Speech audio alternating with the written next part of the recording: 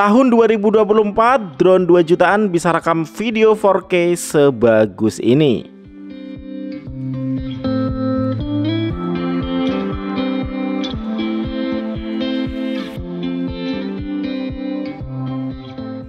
Hai guys, dengan saya Ade. Jadi kali ini kita mau nyobain sebuah drone yang menarik guys Karena dia ini ada GPS-nya Terus untuk perekaman videonya dia bisa di resolusi 4K dengan hasil yang stabil. Tapi kalian tahu untuk harganya ini cuma 2 jutaan.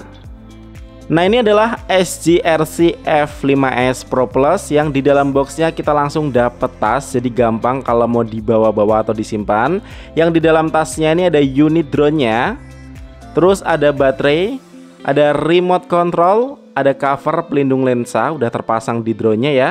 Ada USB charging cable, ada 8 propeller cadangan. Ini baut sama obengnya juga ada.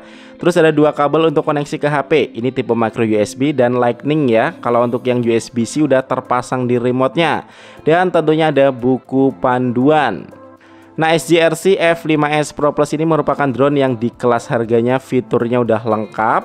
Kameranya punya 2 axis gimbal bisa rekam video 4K dan tentunya ada GPS-nya Yang kalau untuk koneksinya nih menggunakan WiFi ya 2,4 GHz dan 5 GHz Untuk jarak remote controlnya ini 3 km tentunya di luar ruangan dan tidak terhalang.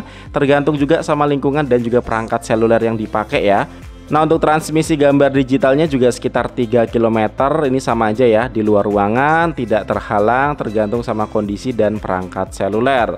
Nah drone ini untuk warnanya sendiri abu-abu silver gitu guys Yang mana punya desain compact dengan body dari bahan yang berasa solid dan gak ringkih Di bagian depan ini ada satu kamera Untuk di bagian bawah ada sensor optical flow Sementara di bagian sisi ini ada satu slot micro SD Nah kalau untuk di bagian belakang ada satu baterai yang untuk baterainya sendiri punya kapasitas 2000 mAh.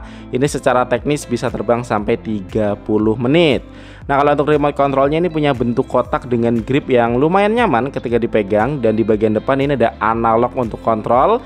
Di bawahnya ada layar LCD dan juga beberapa tombol shortcut. Untuk di bagian atasnya ada dua kontrol putar ya untuk mengatur angle kamera gimbalnya sama untuk zoomnya. Terus ada holder smartphone dan satu port USB-C untuk koneksi ke smartphone-nya. Nah, kalau di bagian bawah di sini ada untuk nyimpen stick kontrolnya sama ada port USB-C untuk ngisi daya remote-nya yang punya kapasitas baterai 800 mAh. Untuk remote-nya ini cukup ya untuk dipakai 2 sampai 3 kali terbang. Nah kalau untuk cara terbanginya pertama kita download dulu aplikasi SJF Pro ada di Play Store ataupun App Store. Lanjut kita koneksikan remote ke HP-nya Ini aku pakai Android jadi aku pakai kabel USB Type-C nya Jangan lupa juga untuk pasang micro SD di drone-nya. Untuk cara terbanginya di sini kita nyalain dulu remote-nya Terus nyalain juga drone-nya ya dan letakkan drone-nya di tempat yang datar. Nanti kalau udah terkoneksi di remote-nya tuh akan ada tulisan GPS mode. Jadi ada beberapa keterangan juga nih di layar remote-nya seperti jarak, speed, kekuatan sinyal, sisa baterai drone dan lainnya ya. Terus di bagian layar smartphone-nya juga akan nampilin preview kamera dari drone-nya. Nah untuk pertama terbang di sini kita kalibrasi dulu guys untuk kompasnya dengan menekan joysticknya ke arah seperti ini. Nah nanti ikutin aja stepnya seperti yang tampil di layar smartphone ini. Nah terus kalau udah kita kalibrasi gyroskopnya dengan cara menekan joysticknya ke arah seperti ini. Dan kalau buat nyalain motornya ini sama aja kayak drone lain ya. Jadi kita tekan joysticknya ke arah seperti ini.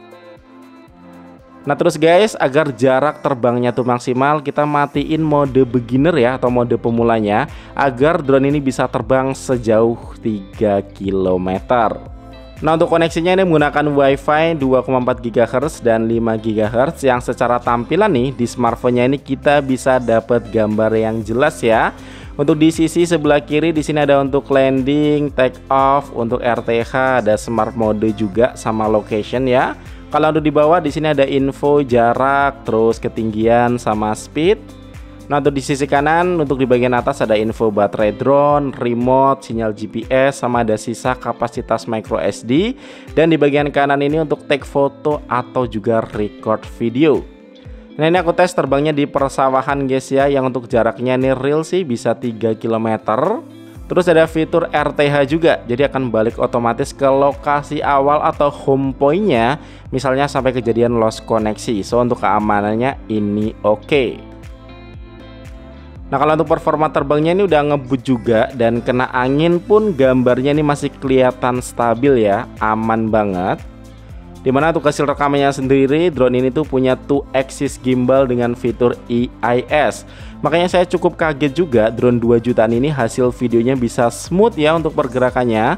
Kalau Jilo sih tetap ada ya apalagi pas banyak angin Tapi ini tuh minim banget guys untuk Jilonya Kalau resolusi videonya ini bisa 4K 30 fps dan ini bisa zoom digital juga guys Ya untuk kualitas gambarnya ini ada hasil rekaman videonya tanpa diedit sama sekali ya. Jadi buat warnanya terus detailnya ini saya akuin udah bagus banget buat kelas drone seharga dua setengah jutaan. I saw the city passing by my window Was in the crowd but I felt so alone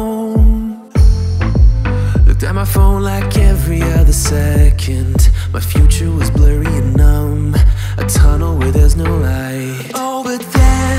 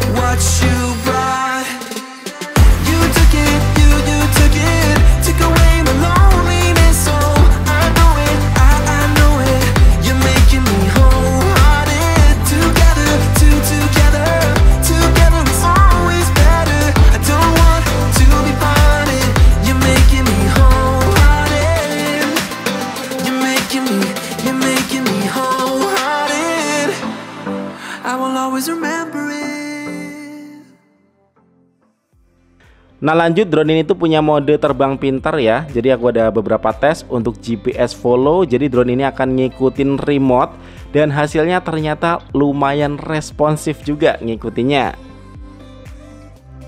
Terus ada mode farfly. Jadi mode ini ya kayak ngebuat drone-nya tuh ngejauh dari objek gitu. Sama ini aku tes spiral fly ya. Jadi dia terbang ke atas sambil muter gitu guys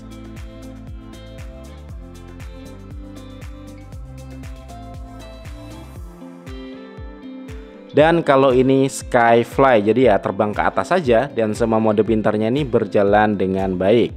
Nah untuk kesimpulannya, saya ini termasuk jarang ya ngebahas sebuah drone, bahkan di tahun 2024 ini, ini adalah drone pertama yang saya cobain dan ternyata seru juga guys.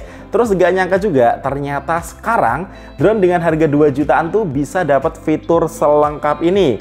Untuk hasil videonya juga tergolong bagus ya di kelas harganya, bisa punya resolusi 4K dengan hasil video yang stabil. Kalau untuk jarak terbangnya sendiri ini sampai 3 km ya udah tergolong jauh guys. Yang untuk waktu terbangnya sih aku tes sekitar 25 menit. Cuman ya itu, untuk ngecas baterainya ini lama banget ya, sekitar 4 jam. Ya, tapi ini masih oke okay banget lah ya. Cocok buat kalian yang pertama kali pengen nyobain terbangin drone. Karena drone ini adalah salah satu pilihan terbaik di kelas harganya. Untuk link pembelian bergaransinya nanti aku set di deskripsi video.